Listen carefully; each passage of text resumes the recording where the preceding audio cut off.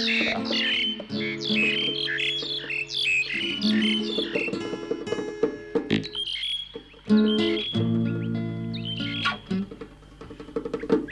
was year 2020.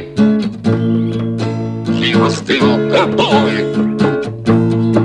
I had a human friend. We played human games.